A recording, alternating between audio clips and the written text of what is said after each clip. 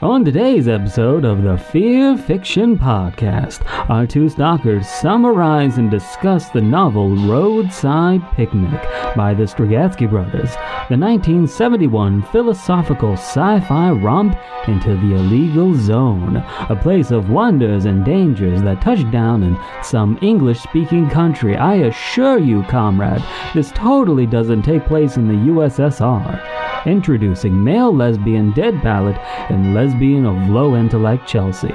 I've been Radiohead and I've been told I'm not allowed to sell things at this location and on this date. Kick it to the Cold War, Chelsea. Glow in the dark. You run them over. Okay. What are we? What are we doing? Um, that's a great question. What are we doing? What This is Chelsea's doing? episode. You fucking- You figure it no, out. I don't want to. Okay, so I'm going to explain Roadside Picnic to you. This is something that we've wanted to do for a while. We were contemplating. We, we just haven't had enough time to do it, but we wanted to do a podcast where I'm illiterate, Mm. And the premise of the podcast, like separate from Fearfic, is just I can't talk, you're illiterate, I explain books to you, and you try to guess the titles. or just you know enjoy the you know The verbal fuck ups The of me verbal trying to fuck-ups. explain a book. So the project of reading to my illiterate boyfriend has been put on the back burner, and today You we're could say it's on the bookshelf. on the bookshelf, on the book burner. yeah. No. We are going to read Strugatsky's Roadside Picnic. Not the entire book, but you will summarize the book and I s- explain it to me. Yes. If you don't know about Roadside Picnic, you might better know of the 1980s film. Uh, what, what is it? It's just called Stalker, right? Yeah, it's just called Stalker. There's Stalker, which is both based it off the book Roadside Picnic, and then the movie has a video game based off of it, also called Stalker, Yep. which takes place in Ukraine Yep. and has now spun off into the Metro series, which the new Metro game might get delayed a little bit. Metro also takes place in Ukraine, right? Yes, correct. So the interesting thing is, um, Roadside Picnic was written by two brothers, uh, both of whom were born in USSR. Uh, one was born in Georgia under USSR rule, and the other one was born in Russia. One of the brothers worked as a translator, so he translated English and Japanese books into Russian, and uh, he really liked the word stalker. It's a good word. Get in here, Stalker. All right, get in here, stalker. But him and his brother wrote a bunch of different books, one of which is Roadside Picnic, but one is a series called like the Noon Universe, which actually inspired Avatar, the one with blue people, not the superior one with airbending. With no blue people. With no- Chelsea's racist against blue people. Well, Korra had blue people in it. it did.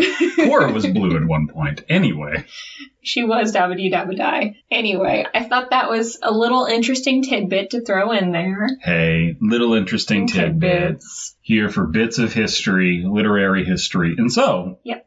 the they're both the Strugatsky brothers, or what's the yes. deal? Okay. Yes, they are the, and they, to my understanding, actually died shortly after Roadside Picnic. So there are some questions a lot of people have regarding Roadside Picnic that will never be explained because they died.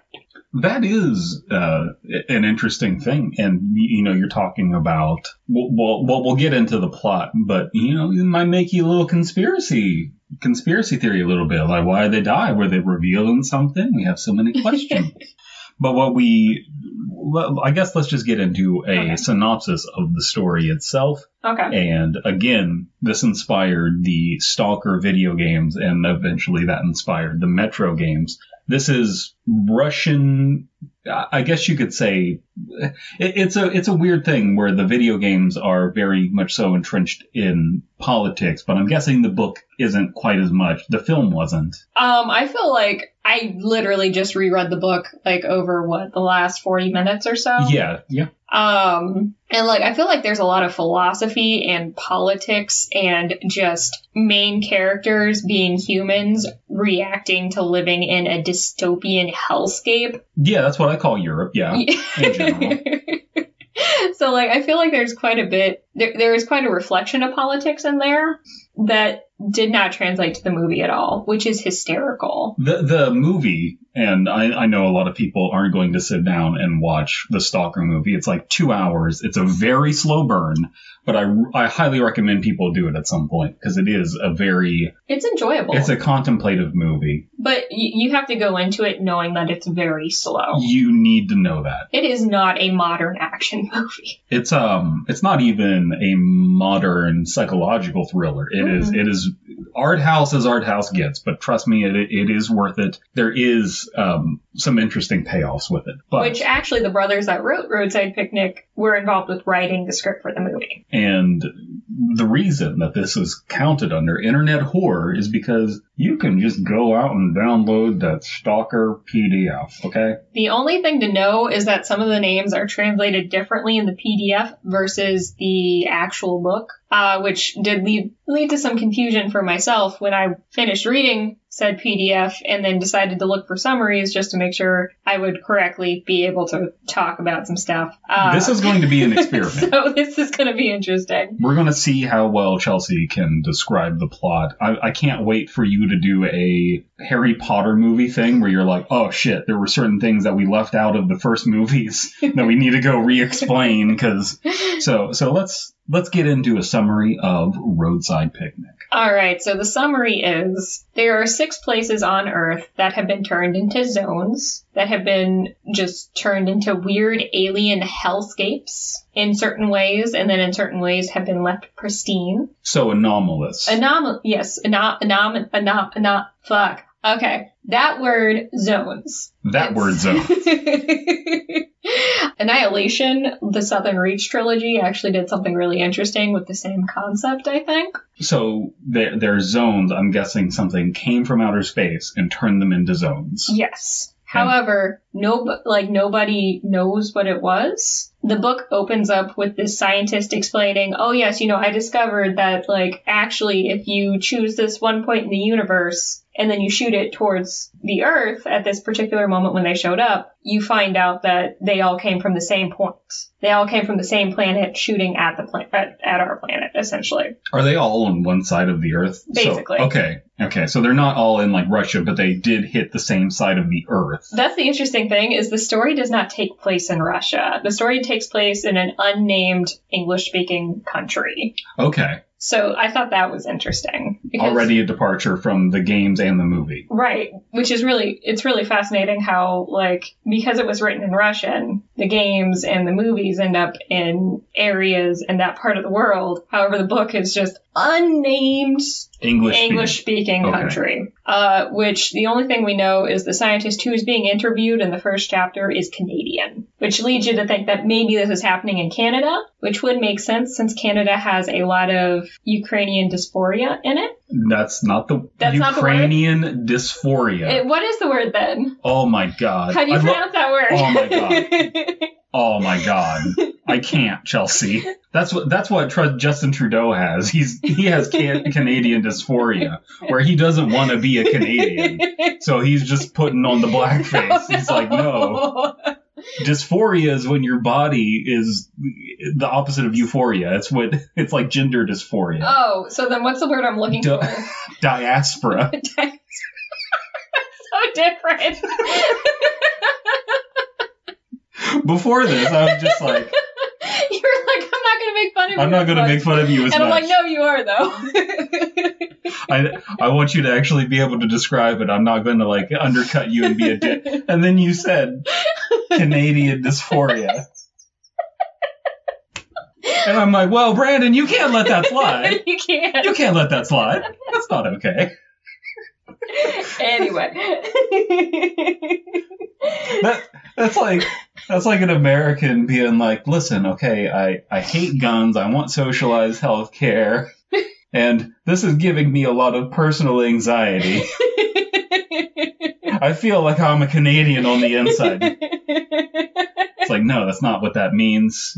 You, you can't just you can't just claim that you have body dysphoria because you're not shaped like a Canadian. Fuck. oh, this verbal fuck up was a good one. Okay. We're in Canada. We're in, we are potentially in We're Canada. potentially in the Canada. potentially. and we're at a, a zone that is so it is kind of like based off of radioactive anxiety like the anxiety of nuclear energy and that kind of thing is kind of the premise because we have the chernobyl which is obviously Yes. happening at the same time in the same area. So that is an anxiety just like we get the anxiety of nuclear war and godzilla we have chernobyl and the zone. Yeah, And get out of here, stalker. and get out of your stalker. Um, so something interesting actually is in the book, the UN steps steps in and blocks off all the zones, trying to make it impossible for people to come in, steal things, and then leave. Which is the job of a stalker, is to, you know, sneak in, take stuff, sell it to the highest bidder, or alternatively, sneak people in to see the zones and then sneak them back out. that that almost So illegal tourism is part of their job. And so, why would they want to grab items from these zones? Um, because some of these items are um, very interesting to scientists who can't get hired by the UN, UN to study them. Other items are um, like there's this one in there that can make like really fascinating jewelry that women pay a shit ton of money for. So it, it's giving all kinds of different like anomalous benefits. yes, So we have these. I, I'm guessing early on in the story, we don't know where these zones come from. They just kind of like emerge. right, And what is coming out of there is in many times as harmful and as possibly rewarding as what you get from SCP Foundation yes, anomalous objects. it is very SCP Foundation kind of stuff. Um, and the book does explain some of these things. Like there's, I think it's called witch's jelly, or at least that's what it's called in the PDF I read. Okay. I don't know if that's the official translation or not. Well, there's this one character that in summaries like kept being referred to as as Vulture, Okay. but the PDF I have like his name is Buzzard. Okay. so it's a lot of stuff like that. That's that's that's hilarious because whoever picked Buzzard was so wrong. it's like no, and it's like the character is very embodied by the word vulture, but like reading it, it's like, why is he called Buzzard?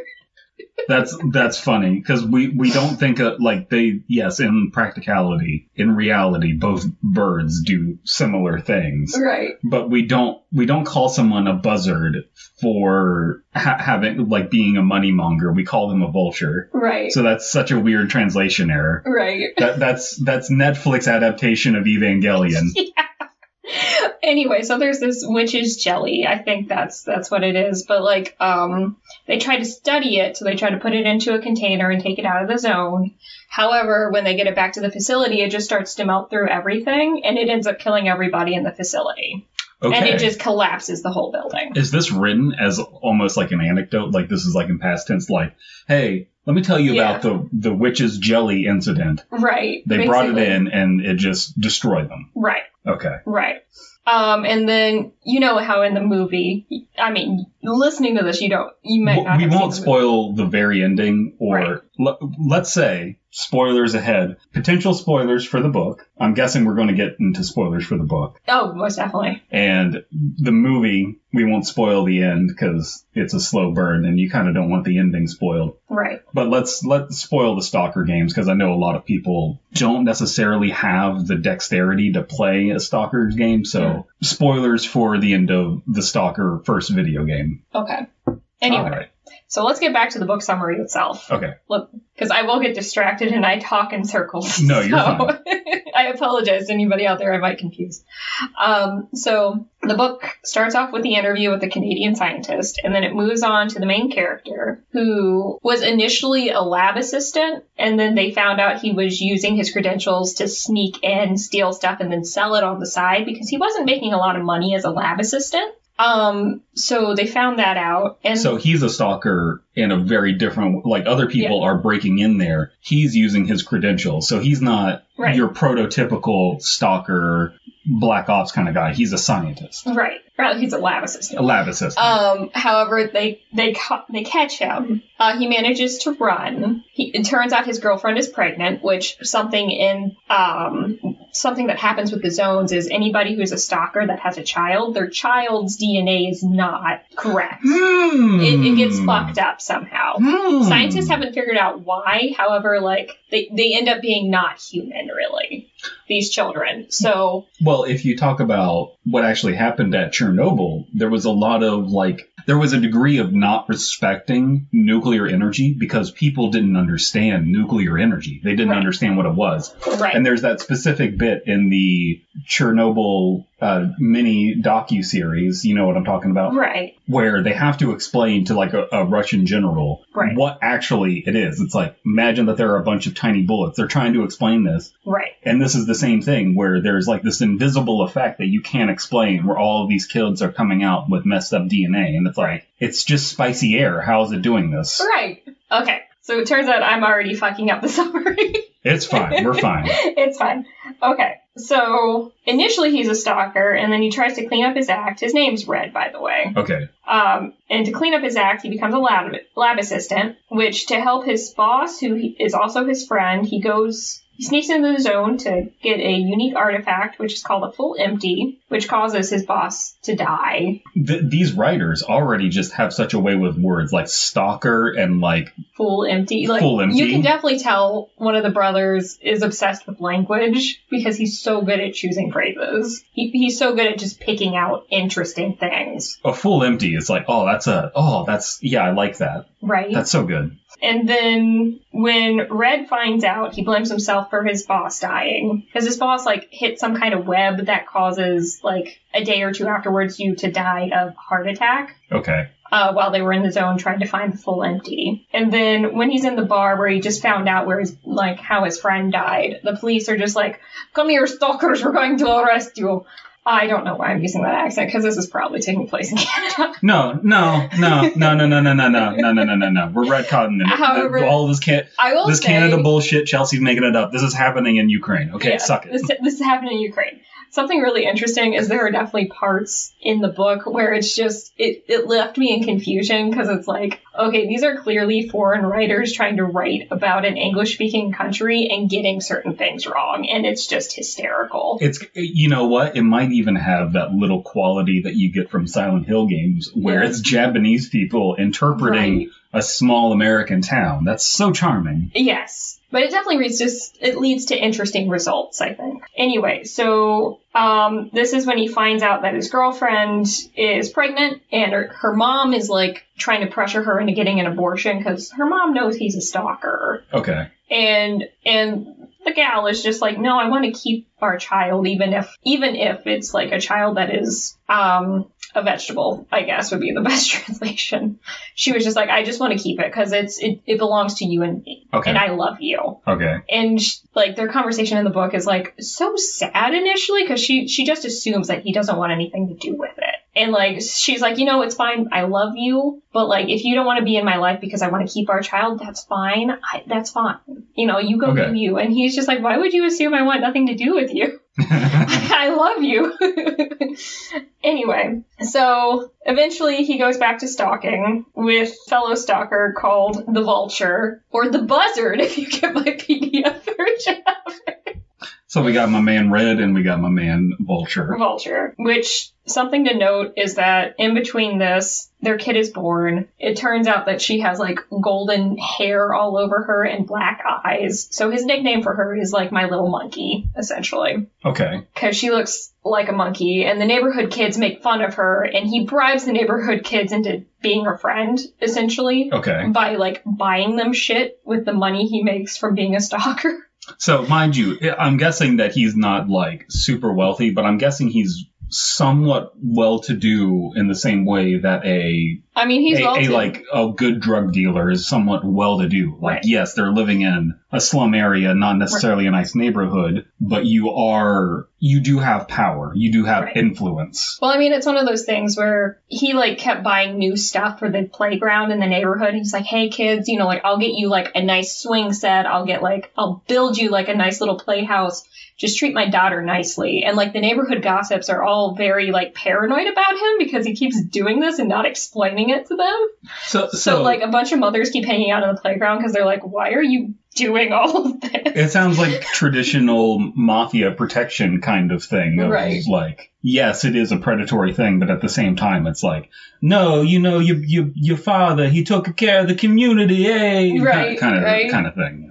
Something else to note too is like in the first chapter, they talk about like some of the weird shit that happened to the communities around the zone.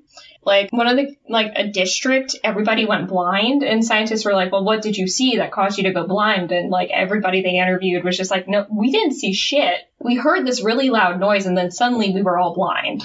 Oh my god. And like that apparently happened to multiple districts. So like you have blind district one, blind district two, and then it just says etc. And it's like, how many blind districts are there? Which And- I thought that was such an interesting bit of world building. Th- it's really interesting that you can just have like okay well these these things popping up they're called the zones and it's causing a lot of things to just go awry in ways that they can't get a handle on Right. Which again you're talking about scientists you're talking about the media you're talking about the government all of these places of authority again just like in chernobyl Right. Trying to contain it and failing and, And then not trying to lie understand- about trying to lie about it yeah. not understanding it not believing the people who are having things happen to them. and the people who are having things happen to them are only having a fragment of the things happen to them. They're not getting the whole picture. Right. So everybody's perception is kind of colored by whatever effects are happening Right. to them and they're localized. No one has, they're all blind trying to touch the elephant in, Right. and seeing different Exactly. things. Something else interesting to note is there is a government um, department put together to try to convince people to move out of these districts. Like people who were there when the zone happened, and they're like, "Hey, we need you to like move. We'll pay you however much you want, but like you can't stay here." So like, um, Red mentions that like half the people in his town end up moving out, which is interesting because later in the book, like after like after the time skip where he's in prison, it turns out that like all these people that left, like they're like, you know, we don't have any conclusive evidence that this is connected. However, the more people that move from near the zone to other towns increases bad luck in those places, Okay. which is really fascinating. So them in the, their town that is close to the zone isn't a problem. Right. But them moving out, Right. they're, they're taking something with them. And it's not people that move to the town after the zone happens and then move out. It's just if you lived there when the zone occurred and then you move to a different area, you're taking a shit ton of bad luck with you, apparently. And that's kind of what it is because you don't understand. Like, again, I, I can't stress this enough. Yes, now we have, like, you, you go to high school and they're explaining nuclear energy to you Right, and what radiation will do to you. It's like so common knowledge now. right, This was magic when it first happened. Like the first, you, you know, Chernobyl, the first time you Right. have this nuclear disaster, it's just magic. Right. Evil fucking magic we can't comprehend. right. It's like, no, this person It's is like, oh, you touched this metal and suddenly your your hands are falling off and you're getting like your skin is sloshing off.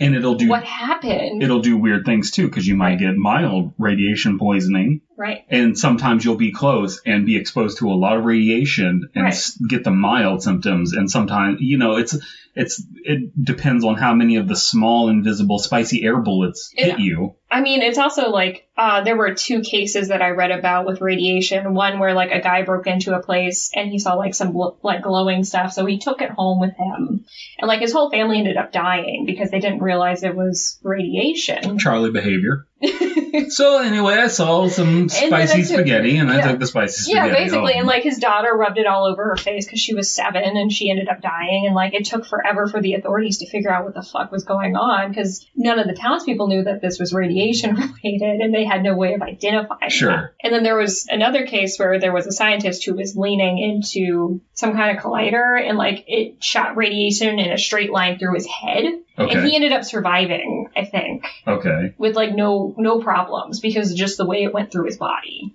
that's so and then the immediate treatment afterwards too. That's so weird. Yeah, because in one situation there is knowledge of what it is, and in Right. another situation there is no knowledge. Right. That's that's fascinating. Well, I mean, it's like when you do watch the HBO Chernobyl series, like most people don't know what's going on, but then you have that one doctor who's like rummaging around for Yes. iodine. Yeah, iodine Yeah. knowing what's going on. Yeah. So wh- where are we at in the Okay. story? So anyway, so uh, I think I just described monkey. Yeah, we got monkey. We got monkey and we got bu- uh, vulture and or buzzard.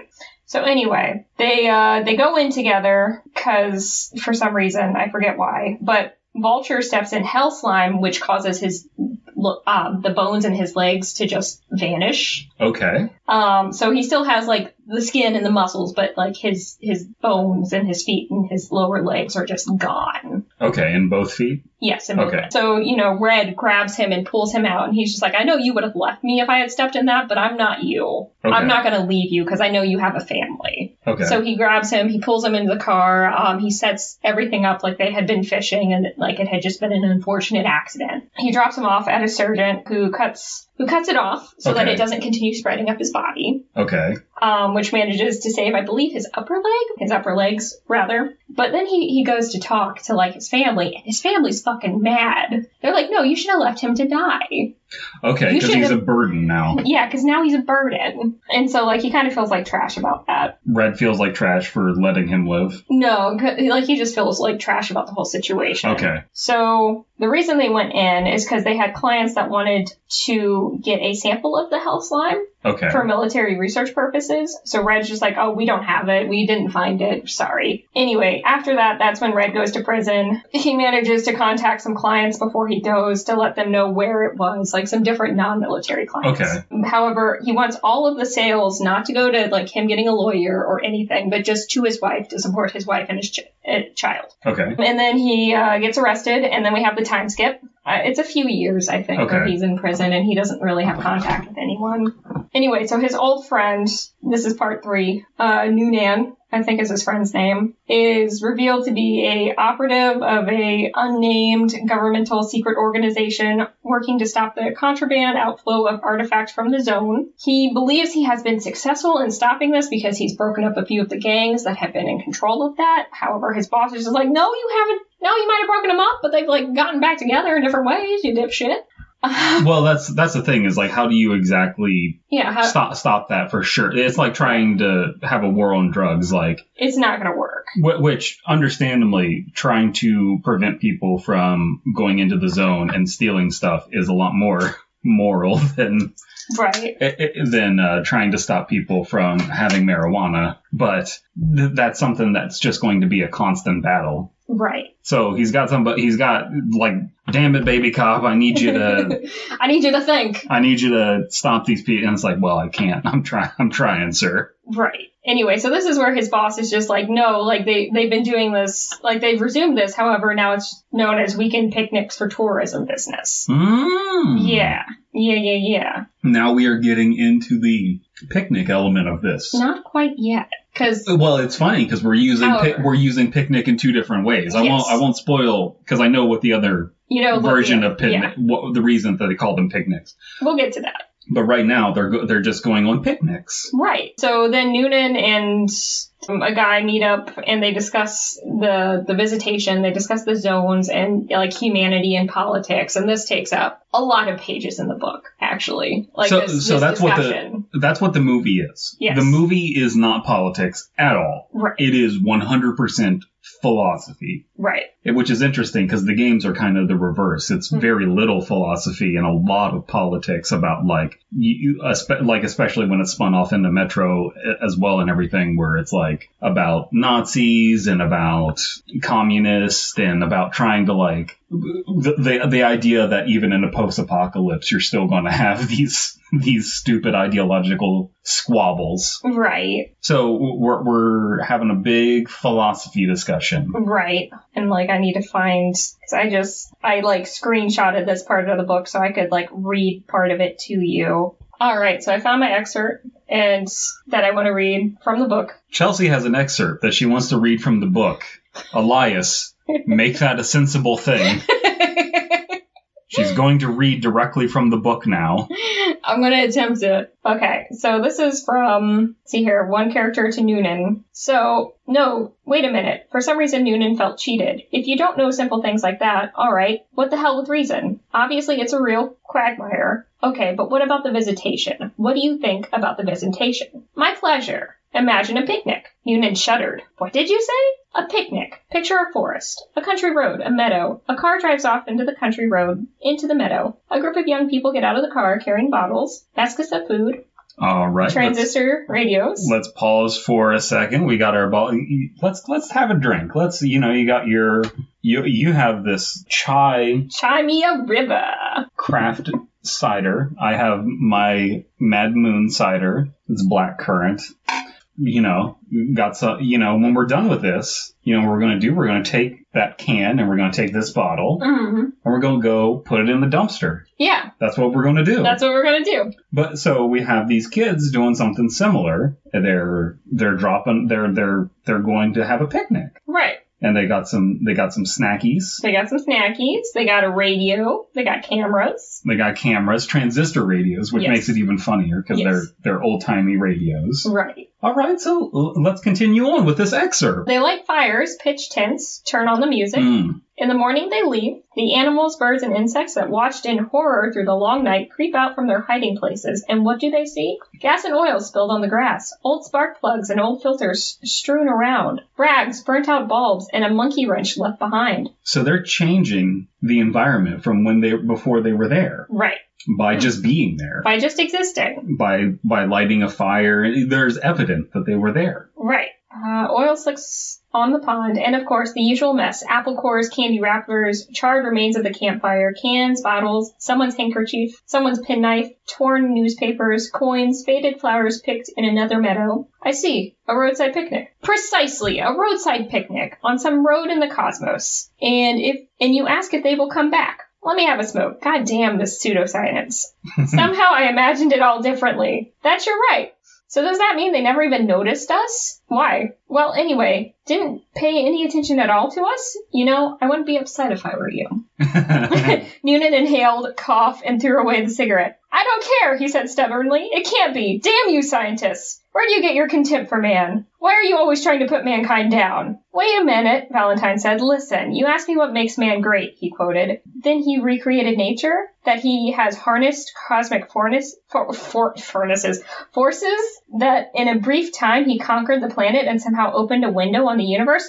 No! That despite all of this, he has survived and intends to survive in the future. There was a silence. Noonan was thinking. Don't get depressed, Okay, Valentine okay. said kindly. we, we, we should probably discuss this because like Okay. there's there's a lot to to really break down there. Right. Like, so are we supposed to know in this metaphor who the kids are in the book yet? I Noonan no Valentine goes on to explain like the kids are the aliens and we are the ants. So And then the zones are just the trash that the kids left behind. so And then he like this next paragraph that I was going to read. go, go ahead and read it. Okay. The picnic is my own theory, and not even a theory, just a picture. The serious z- xenologists are working on a much more solid and flattering version for humanity's vanity. For example, that there has been no visitation yet, that that is to come. A highly rational culture threw containers with artifacts of its civilization onto Earth. They expect us to study the artifacts, make a giant technological leap, and then send a signal in response that will show that we are ready for contact. How do you like that one? That's interesting. Yeah. So what we're dealing with here is a conversation between a few people, Yep. and one of them is super red pilled on what exactly went down. Yes. And then the other one still has some of humanity's vanity left in him, and he's not okay with the idea that we are just little ants. And that we're not the center of the universe. Right. So, what is happening is that the aliens come down to Earth, and what I, I especially like the bit where they're talking about picking daisies Mhm. from another. So they From another meadow. from another and meadow. just leaving it in this meadow. So they took stuff from another planet or Right. like another dimension even or whatever it is and brought it here. And so like all of their stuff isn't even naturally their stuff. They're just on a picnic. right. Like the same way that we would go on like a cross country tour. Right. We're just one stop Right. in this. And like something to note is like when this book was written, something typical for picnics was you would take, you know, all of your goodies, you take all your snacks all wrapped up, and then you would eat, and then you would just throw your trash wherever you were. That Mhm. was very culturally accepted in like the 40s and 50s and 60s even. And now, And now, well, it, unfortunately.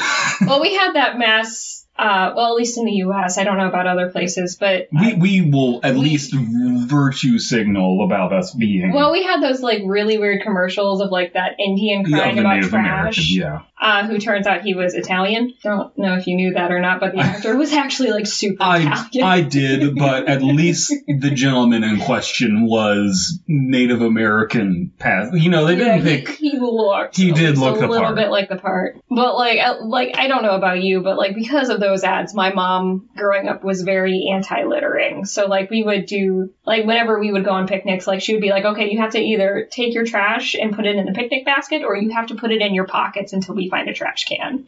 And if you leave your trash where where we were, you're gonna get the shit slapped out of you. So Yeah, and I had a similar mentality, but let's just say that America is not a monocultural in that, and plenty No. of people still litter ridiculous things. oh yes, But uh, the the premise at hand, it, it really does. You, you can look at it through so many lenses. You can look at it through the the literal lens of it being aliens, and then also the fact that we're not okay with it being aliens. And so, like the powers that be, the government, the secret organization, right. is trying to find a way to just break the news that Right. the and they're trying to like break it in a way that doesn't like make people really depressed. yes, And something I think that is also interesting is just the interview from the beginning with the scientist who's just like, yeah, no, we can pinpoint where where all of the zones were thrown at us in the cosmos. And it, it's far away. So it's like, it makes you think like, okay, so if that hit the, the Earth in these six particular places, what about the other planets in our solar system? Did it hit them in the same way? Was the trash thrown onto them by accident in the same way?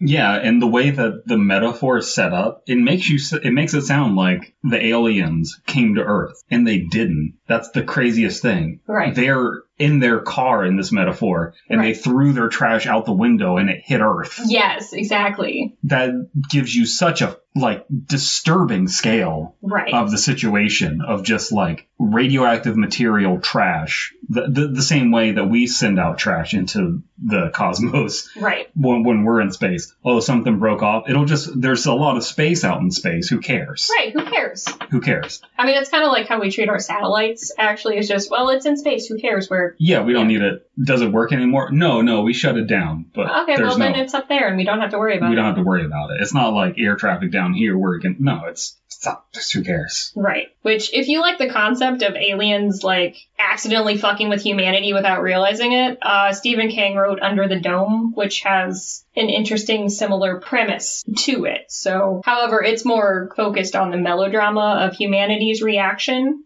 as opposed to, like, it, an American reaction as opposed to, like, a, a USSR reaction. It's it is a weird thing that they decided to set this in America.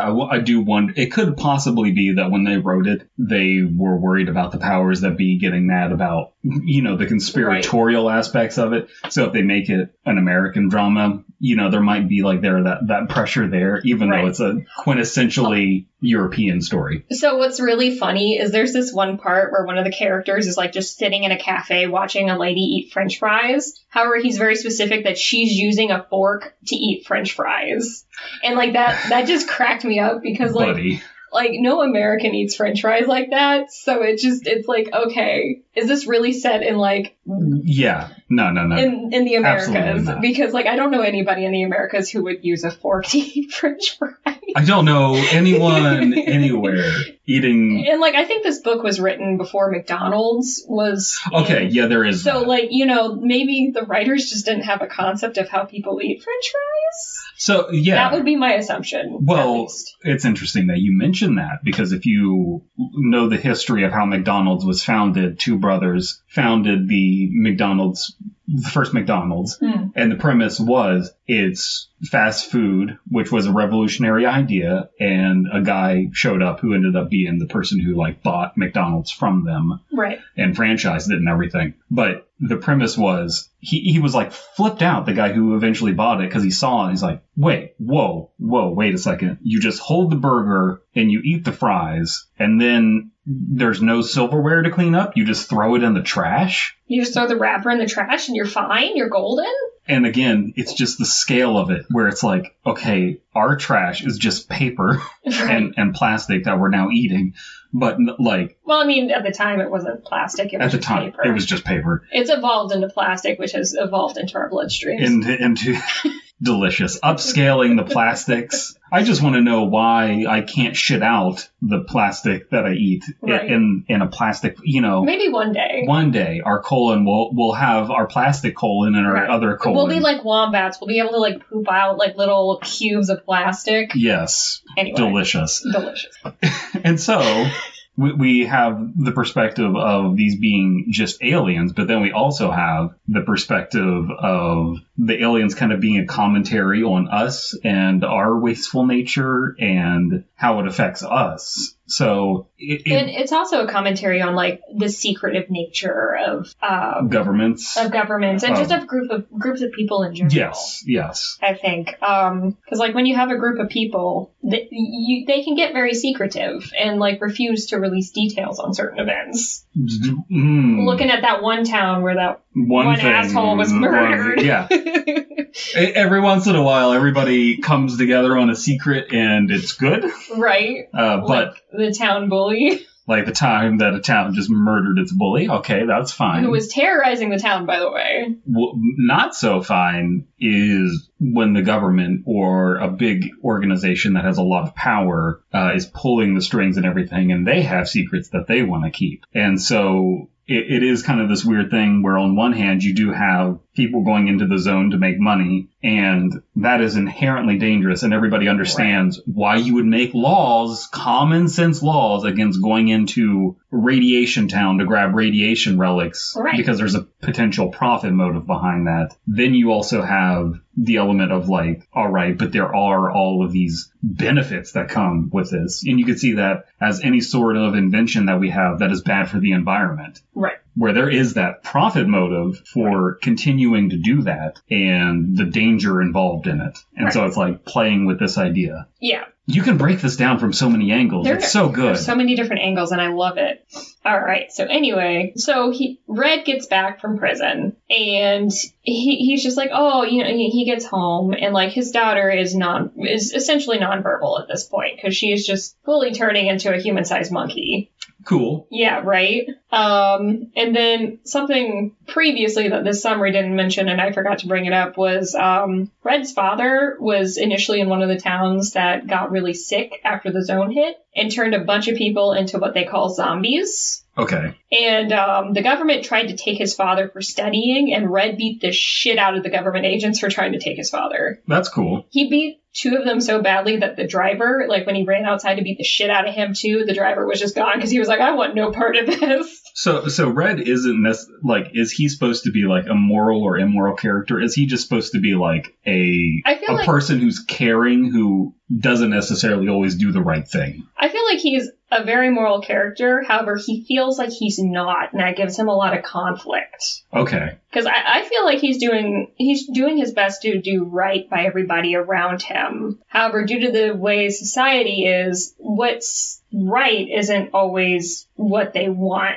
Okay. So he's he's Batman. He's not he's you know the hero that Gotham deserves or whatever, even if Right. it's not the one that they want or whatever. Yeah. Okay. Right. Yeah. So let's see here. And then so something that Vulture and or Buzzard I'm sorry, that's always gonna crack me up. Uh, mentioned when his legs were turning to jelly was the golden sphere, which in my PDF was just called the golden ball. I'm assuming they're the same thing, Buddy. however. Buddy translator. right.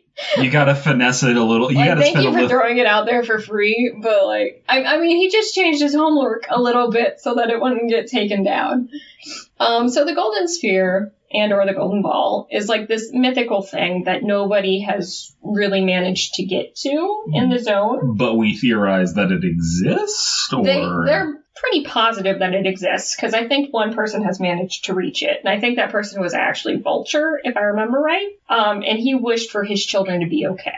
okay. And All so right. his children came out as humans. Okay. However, nobody else really believes him. So- They're like, you just got lucky. So, without getting into too much detail, this shows up in the Stalker movie and the Stalker video games, and they both call this the Wishmaker. Okay. So, in the movie, I believe that they explicitly call it the Wishmaker, Mhm. and in the video games, I know that they do. hmm And this is why people want to get in there. And Mhm. in the video game, it's specific. The stalkers do the same thing. Right. The movie, there's just the Wishmaker. There's not all these anomalous objects. There's just anomalies that are fucking dangerous, and Right. everybody dodges them to get to the Wishmaker. Right. In the video games, you can get a bunch of anomalous objects that you put on you that give you a bunch of different benefits and negatives at the same time. So it's like, hey, I can constantly have my health heal if I have this in my inventory. However, I have jelly mix. However, I like get irradiated. Okay. So it's a thing where you can put like a few of those on Mm. and just keep eating uh, anti-radiation pills Okay. and like be able to tank damage. Gotcha. So it's like actively giving yourself a curse for a buff. Right. And they have th- that's fun that they found a gameplay reason to have stalkers collecting those things. Right. And it's interesting that here you get more less gamified versions of it where like, hey, you might get uh, this item that makes jewelry that women want or Right. or those kinds of things. Or, or you might get this slime that the government really wants for weaponizing. Right. Excellent. Um, something I didn't mention previously, but this just reminded me of it, is every time Red goes into the zone in the book, he does the nut trick. Okay, explain the nut trick. Okay, so the nut We trick. love nut tricks. We love nuts, nut- nuts, nuts, nuts, nuts, nuts, nuts, nuts, nuts. so in the movie and in Roadside Picnic And in the games. and in the games is stalkers will take um, like nuts from nuts and bolts and put like a little bit of fabric in it and like, like throw it. so it's a little streamer. Yeah, so it's like a little party streamer. And they'll throw it, figure out where anomalous activity is happening so they can avoid that section. And in the book, something that happens the first time we we are with them when they go into the zone is Red is throwing these nuts. And then there's this one part where he just stops and he's he's like, "Okay, my brain is melting. I can't think. I can't throw anything in this direction. Oh fuck, there's an anom- anom- anom- anom- anom- Anomaly. anomaly there. I have to turn and throw the nut in the other direction. I have to force myself to turn and throw the nut in the other direction. Okay, so the And then like his friend who's with him is just like, "Hey, you okay there, bud?" so the anomaly is get is like It's like causing his brain to melt. so that's what the anomaly is to be clear is that it is causing a panic attack in his brain right. and making him catatonic like he can't move Right. and he's like trying to get back control over his body. Right. Horrific. Which he manages to do and they manage to go around it. However, his friend hadn't been hit by that yet, so his friend's just like, "What is happening It's here?" almost like this is a perfect thing to do if you don't have a lot of money and want to make a movie. It's like this is the perfect thing to make a script out of it. right. and the the Stalker movie Right. does a lot with very little. Like if you like your early Marble Hornets and your early Everyman hybrids and want to see that but with better cinematography, that's what the movie is. Right. It's there's not a lot of action, there's not a lot going on and they Right. do a lot with just having a bunch of Russian fields and three dudes just have it just throwing nuts at each other.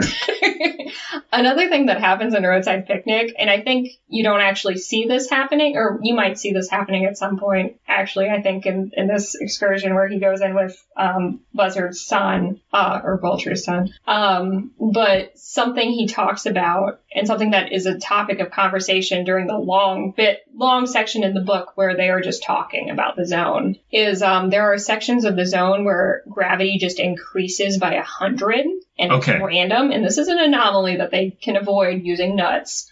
Um, So, so to be clear, what they're doing is they got the nuts, right, and in the video game, what'll happen is there will be, you know how like in real life you'll get little dirt devils, like little Mhm. tornadoes that are just tiny. It's like those, but they'll fucking rip you to shreds, Right. Just instantly, just like boof, like you're you're you've been sent into a blender. right, So you throw the nut ahead, and it will clear a pa- like you'll see the path. And if the nut just lands, then you are free to walk to the nut, pick up the nut, and then throw it again. Because if the tornado is there, it'll send the nut just flying off, and you'll know, okay, I can't okay, go there. I I can't, yeah, And then the same thing will happen here, where it's like you throw the nut, and if it the nut has a weird effect, Right. you know. You know not to go that way. Something interesting about the conversation where he's talking about like the way gravity will occasionally just rupture and go a hundredfold and like anybody standing in that will just go splat immediately is he's trying to explain this phenomenon to like a scientist and the scientist is like, I don't understand. I don't understand. This can't be right. I don't understand until eventually the scientist is like, oh, I'm going to call that like a weird sciency name. And then suddenly he can understand it. And then like there's a conversation about how, oh, so you can't understand it until you put it into scientific terms. However, it's an, it's a thing that is happening to people. That is super interesting because they there there is that element of just denial. And Right. again, that goes back to things that happened in Chernobyl where they're like no, we followed the plan, and the the, the this is like the the system. This is the system that the government laid out for us. So anything that's unaccounted for is bullshit. It's not Right. real. So it's it, it is just that schema. And then once they can put it into their mind scheme of like this is how this works, it's like oh okay then it is real. And it's like oh my oh right. stop. Like, how could you not understand this was real before, before this? And so you're you're talking to, to somebody who is like read for all intents and purposes here is an authority Right. on this because he is a well seasoned stalker. Right. He would know better than the scientist who is studying the stuff in the lab. Right. And he says it, and the scientist just doesn't believe it, Right. even though the zones are a manifestation of a bunch Of random shit. of random shit. The the person just still won't buy it. right. That is perfect. I thought it was like a really interesting That's that's touch on like that's where it's getting super political of Yeah. like yeah But yeah, and then like another thing they mention is just like how some areas just turn into ruins and then others are just pristine. Even though nobody's keeping maintenance on those buildings, they are just, they look exactly the same way and there's no dust in some of them. However, others are just absolute ruins. also funny because um we're, we're talking about the stalker movie we're also talking about annihilation here Mm-hmm.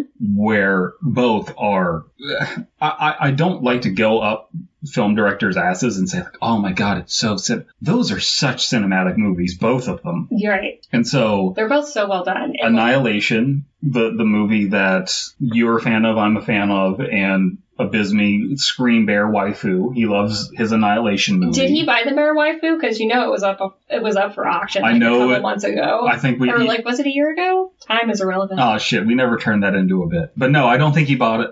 That's unfortunate. We, I forgot we were. I was supposed to write that down. It must have slipped through my notes. I was going to make that a bit. But it, so we we do get Yeah. So like there, I, I don't know if Jeff Vandermeer, who wrote the wrote Southern the Reach- Annihilation movie. yeah, he he wrote the book. He wrote the book.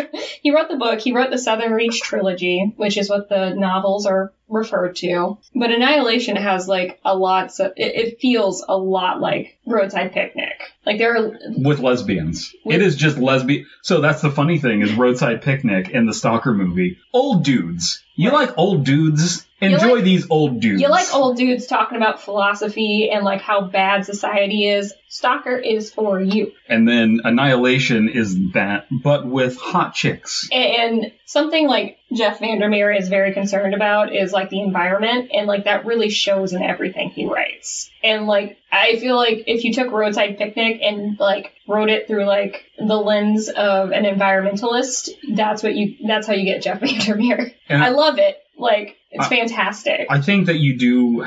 but also he, he a lot of his stuff is very Cronenbergy. So sure. you know, there is also that. There, there is the it, it is you know you got that that Right. pepper kick of Cronenberg in there too, which is nice in, in the movie at least. I can't read. Everybody's intimately aware with that. what I love about the Annihilation movie is the director read Annihilation once and then he was like, okay, I'm going to treat this movie like I would a fever dream.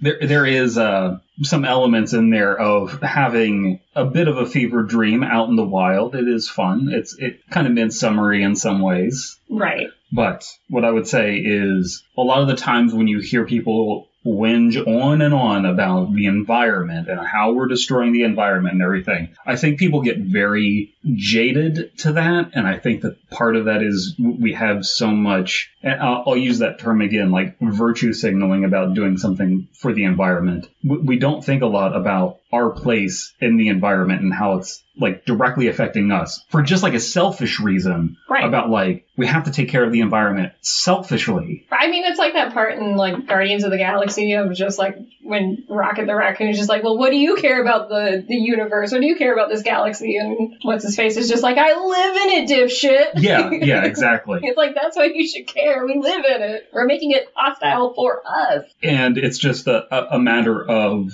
practical like practical application of it and again framing it through that like alien lens of like humans almost being aliens in their own habitat with how different we live now Right. so you could also interpret it as like we are the aliens ruining our own Right. situation Or, or rather, companies and like large corporations. a, a modern Which- life. I think a good way to say Yes, that that modern might life. not offend anybody is it's modern humans are living a very different life that's modified by how you know p- traditionally we were hunter gatherers and now like through through a long march of history we have gotten super specific with our job descriptions Right. we we now don't divide things by women stay at the camp and men go out and hunt. Now labor is like, okay, you give your kids to the state and they parent your kids while you go off and make bottle cap tops out of plastic. Right. And you barely make enough to hit your rent and pay for food for your children. And in this alienating life, you might turn to something that might hurt the environment, like going into the zone and grabbing something that might or might not Right. belong in the zone and it needs to stay there, or it might be, you know, something that'll make you a little bit of cash when you come out of the zone. Right. You kind of don't care. Right. Because you no longer have the capability to care. You you don't care about the world. You care about like your immediate Right. situation. This is what's so awesome about Roadside picnic. Roadside picnic is like the the different ways you can break down the philosophy of it. Right. And Annihilation is a very different story. I'm just saying you can feel echoes of Roadside Yes. Picnic in it. That's all I want to say. So does it kind of end with our discussion about what a roadside picnic is and and No, there's a lot more book to that. Okay, let's- you know, for being only like 126 pages, this is a very dense? dense book. Hmm. Anyway, so the golden sphere is what Red wants to reach when he goes into the zone for the last time. He's like, "This is my last trip." This is one last job. yeah, basically. It's a Um, trope for a reason. Right. So he has a map which was given to him by Vulture, and Vulture's son, whose name is Arthur, joins him on the expedition. Red um, decides to do the one thing he feels is very immoral. However, he feels like he has to do this, and that is bringing Buzzard's Vulture's son into the expedition in order to basically kill him in order to reach the Golden Sphere. So he is planning on betraying him the entire time. Yes. Oh, And I feel like this is the one immoral thing he really does in the book, which is very fascinating because he chooses to do it because he wants to keep his daughter from essentially morphing into a, like, further morphing into a monkey. So he, you know, we haven't gone to it yet, but there is something where he needs, he, there's some potential danger and he's going to throw Vulture's son into the way of danger to get to the golden sphere, Right, the, the golden circle boy, right, to make a wish that his daughter not be anomalous. right. Exactly. And like, you know, he, he's like, you know, this clearly worked for Vulture and his children, so maybe this will work for my child. Because Arthur is 100% human and fine. Okay, Arthur being the kid. Arthur being one of Vulture's children. He has multiple children, so. And all of them are just human and, like, have no effects from him going into the zone, which I think is a really interesting thing. because again we're t- we're talking like again now we have such a concrete like like even if you aren't a nuclear physicist as you're you know if you're a nuclear physicist out there in the audience. Even if you don't know the pers- the specifics of nuclear energy you have a concrete idea of how it functions. They super didn't. So Right. even like a wish making orb really isn't out of the realm of possibility. You know what i mean? Like it sounds super supernatural and like ridiculous, but again, the idea that like air could hit you Right. and you fucking rupture And- with blood. It just doesn't make any sense. Anyway, so they they have to go through a bunch of different issues. Like they have to go through like a bunch of different events in Uh, order to get The pit and the pendulum. yeah, in order to get through to the the sphere. However, before they can get to the sphere, the sphere is surrounded by this phenomenon that they call the meat grinder. And that's why he wanted Arthur to come with them because he's just going to throw Arthur into the meat grinder Okay. so that he can like essentially like because the meat grinder I guess will die down with somebody's death and then he's planning to rush right past and reach the, the sphere. Do we know what Vulture did to get to the? Oh, Vulture killed like a bunch of people. Okay. Vulture like led a Knew. bunch of people. Okay. Yeah. Oh no. Okay. Like that's part of the reason why he's called Vulture in the book or Buzzard, Oh, so they depending on your translation. they they And like everybody knew he would just leave people to die. so this whole time, Red and Vulture have been friends or acquaintances. They've been but like coworkers. they've been like coworkers, Yeah. but I'm guessing that Red, being Mr. Main Character, probably didn't care for Vulture and just kind of like had this this relationship with him. right. But it's fucked up because he can't throw Vulture into the meat grinder. Right, because Vulture no longer has legs. Vulture can't get there. Right. And so that's what makes it super morally dubious that he's just using the son instead. Right. Um, but I think it was when he saved Vulture is when Vulture told him, like, hey, if you want to get to the sphere, you need to kill someone. Okay. So Ooh, was Vulture planning on. I don't know if Vulture was planning on doing that because Vulture's kids were fine at that point. However, because Okay. Red saved him, Vulture was like, hey, Okay. I, I owe you one. You did me a solid. Okay. So anyway, so they managed to make it to the meat grinder section, and so Arthur rushes towards the sphere, and Red doesn't stop him because Red's like, he's gonna die. It's he's gonna die, and then I can get to the sphere after he's dead. However, Arthur gets cut up. He gets cut up to hell, but he manages to reach the sphere through the meat grinder, which no, like Red was not anticipating him to be able to do that. So Arthur manages to get to it, and his writ, he, he wishes for everybody to be happy and free and nobody left behind, and then he dies from his injuries. Okay. And then Red, like, just sits there and it's just like, what the fuck?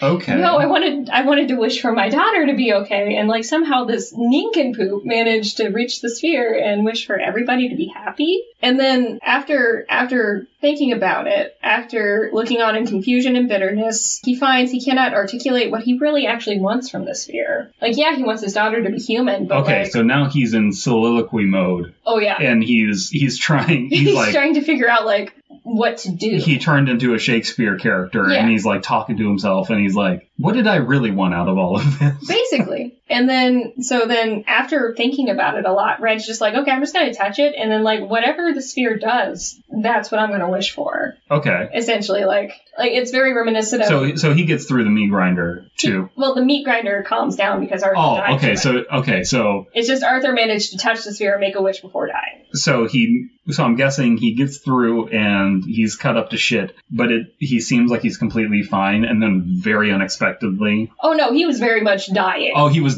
It- what was unexpected was him getting back up and grabbing it. Okay, Like Red was like, okay, the kid's dead. Oh shit, the kid's not dead. okay, so Red leaves it to the sphere to look into his soul to figure out what his wish was. And then in an irony, he winds up obsessing in the same way that Arthur had, had said the phrase. And so he just says, happiness for everyone, freedom, and may nobody be left behind. And then the book just ends. okay. Yeah. All right.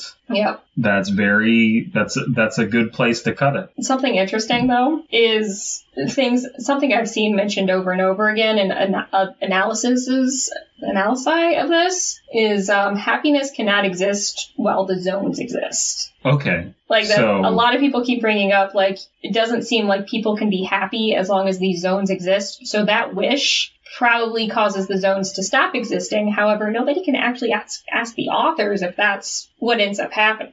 That's that's true. I guess you could also th- that could take you a lot of places, and that is Mhm. a good cliffhanger to end on. Is Mhm. just him repeating what is said. Right. There is a, a big question about what happiness could be. I guess that it would, you know, that's the starting place is getting rid of the zones. That's still not going to make everybody happy. Right. But that's like the first step. That's the first step. Yeah. Wow. What a what an excellent story. Yeah, it's fantastic. I think there might be an audiobook version of it somewhere. You you also it, it's interesting. So like we don't get uh, in the story we don't get any interactions with the aliens. Again, they're Yeah, they are driving by, throwing trash out the window Mhm. of their you know Ford hatchback Right. of the spaceship and it hits Earth and it causes the zones and we get no glimpse into all the we, we just see the carnage that they cause. Right. So what, do do we get any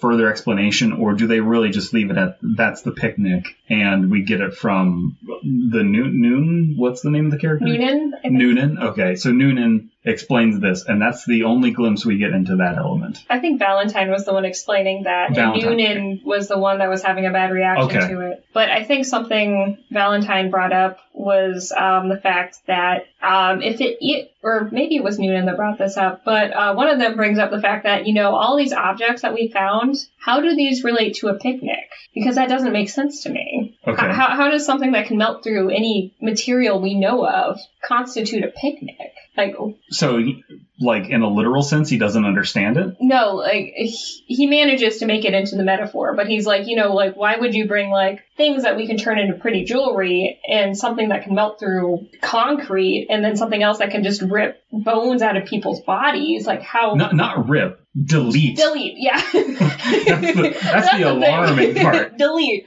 and he's just like, why?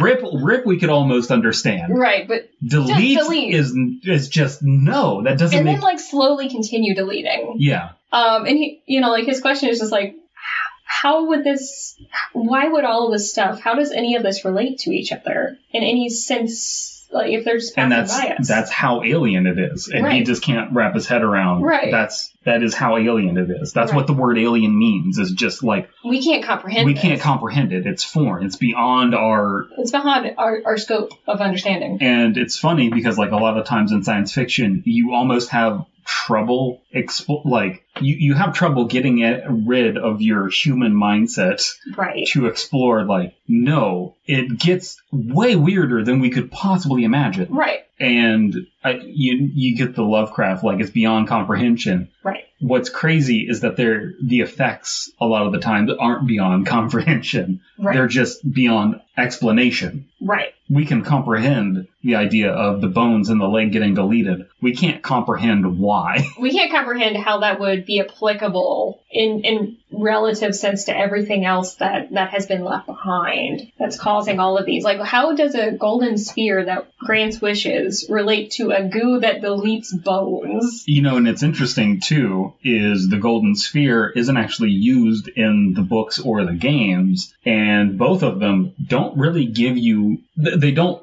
show you a picture, and It's not like, used in the movie? It's not used in the movie. Because Okay, remember, he just used it in the book. yeah, no, but that's the point, is like, there there is a wishmaker there, right. but like, they don't show you the Mhm. thing. It's just, you go into that room, Mm, and the wishmaker thing is there. right. And in the well, I'm not going to give too much away about the movie, but it's just like, the, hey, right around that corner is the wish. There's a long scene where it's just like the wishmaker thing is in there. Right. All right, I guess it's time Go to go in make there. wish. Make a wish. Go to the Make a Wish Foundation. it's time to go make a wish. Oh man, I wish for John Cena to come visit me. But yeah, no, that's it is very interesting. And like it's very specific that it is a golden sphere. That's weird. Yeah. Hmm. Yeah. Is the golden sphere money? Tis it capitalism? it just cuts off. Nobody No, knows. nobody- yeah, no. This has been a special episode of the Fear Fiction Podcast. Your hosts were Speed Reader Chelsea and Backwards Reader Dead Palette. Music by Abysmii. Art by C.F. Comer. Let us know if you enjoy these weird departure episodes in the comments below, and be sure to like and subscribe. Now, get out of here, stalker!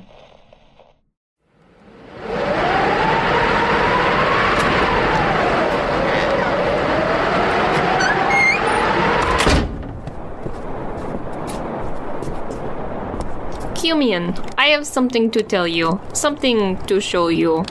like capitalist American school material time. How you say tell show. But object also important. Story first. In old country, there is place called the zone. The zone is like American zone, auto zone. Has valuable parts, parts that are hard to understand. Functions hidden. Require tests for knowledge. AutoZone is mm, glow, like roof lights at AutoZone. Also dangerous. No comrade wants to enter zone like American AutoZone. But inside zone, there are treasures. See, there is boy. Boy who like me. But me, ill. Can't walk, can't build collage, can't tell rumor from truth. So boy sneaks into zone to get Gamer Da Vinci Pisiat. No English word. Gold liquid heals the sick, but also causes, eh, you know, head soup. Brain gruel? You know, no, no good. Anyway, boy goes into zone with comrades. One comrade steps in hand soap, starts growing hands on mm, 95% of his body. Comrade's mercy kill with Makarov. Another hops on crazy train, begins spewing capitalist lies about free healthcare. Nonsense, no such thing anywhere. Old country provides citizens. Citizens tell each other to push on, toughen up. Plenty good. He never get off crazy train. Last comrade of boy pulls fire alarm. Catches on fire, thus alarming boy. Finally, boy finds Ghost Factory, home of gold liquid that heals sickness. He comes out with liquid and deep scars all over mind and body. Boy comes home, kisses liquid into my mouth while I sleep. I'm healed, no longer on deathbed. Happy to build kolosh again, eat cabbage pierogies without spew on floor. So, report Scarboy for entering the zone. KGB make boy vanish. No true comrade would enter forbidden zone. But yeah, um, if you enjoy Roadside Picnic, Southern Reach trilogy is also fantastic, which is Annihilation is the first book, uh, Authority, and then there's another one I forget the name of. And the the interesting I thing about that the book and find out. is uh, all the books are kind of written from different perspectives. Some of them are more, Acceptance. That's the last one. Yeah, no, they're all written from different perspectives and different reactions. so you get it, it is a write what you know kind of thing where I always write characters that I can voice because that's who I am. But like these, you get a scientist character, you get a, a diary kind of thing, and then there is one. Isn't there one that's like a third person, like just explaining facts? Right. So yeah, no, I think that was the fourth one actually that nobody expected. that Jeff was just like, here's one that's just facts. And so um, it it is interesting to just see how this this relatively unknown book spawned all of this different thing that just really hit the zeitgeist as of recent. And uh, these stalker games have been very fun. And you know, with global tensions escalating and uh, Russia and Ukraine being at war, it's it's interesting to see a, a, a peer into that part of the world and their perspective on uh, philosophy and politics right. and horror Yes. especially. I, I hope that you enjoyed this experimental episode.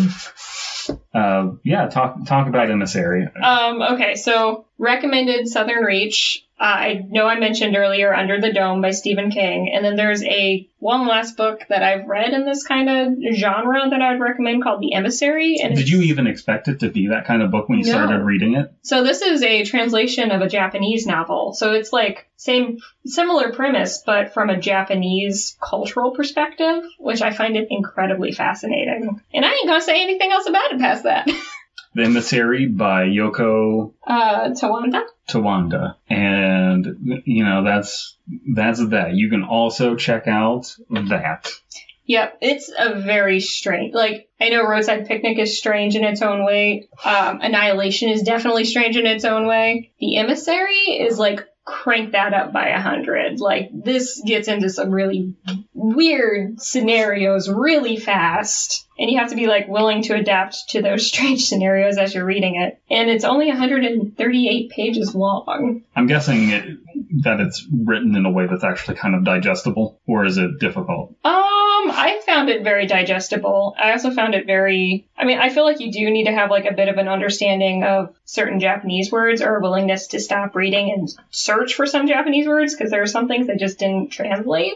So they didn't give you the the the Viz Media or Tokyo Pop translation notes. No, and th- they also didn't do like that keikaku means plan thing. K- Keikaku they means just plan. they just like throw certain words in here and like expect you to do your own research on them. Katana means Japanese katana. Yeah. But what's interesting, though, and the reason that I bring up how readable it is, is that these stories, again, talking about anomalous objects, a big critique that a lot of people have in the RPC community, um, not all of them, but some of them, is that RPC and SCP, and they, they have this critique of all of them, is that the anomalous objects and the way that they're set up, it, their dryness is both a benefit Hmm. and a curse. Right. That they're kind of like stuck in this rigid writing style Hmm. and these all kind of like have the same thing, but they're taking on so much more personality. Oh yeah, they're they're all so very different. Like even like with Annihilation and Authority, both like Jeff Vandermeer wrote them in completely different styles from completely different perspectives, and he did a wonderful job of that. Like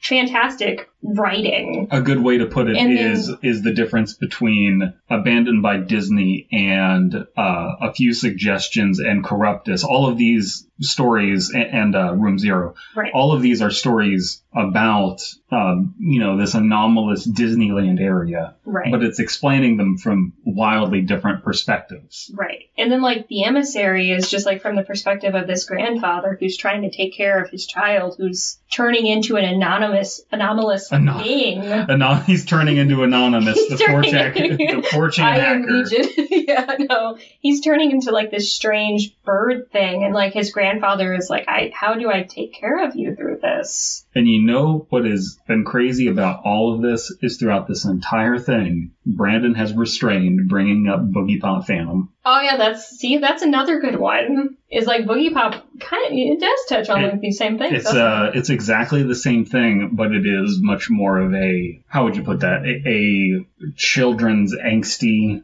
I'd say it's more like teenage angst Teenage- reaction teen- yes. to this kind of kind Well- of material. Well, also children, because a lot of the, the traumas that made the, the villains of Boogie Pop what they are kind of happened at an earlier age. Mm. Like, hey, I hate useless things that don't become anything, and a person just becomes a pure, weird utilitarian, and they're just like, people that don't serve a purpose Hmm. can get exploded. So I guess if you're looking for like different age perspectives, like all like all these different books hit different age groups. Like Boogie Pop for the younger For crowd. the younger crowd, Um, I'd say annihilation is is your political awakening to like your, your Yeah. environmentalism, your, 20s of like right.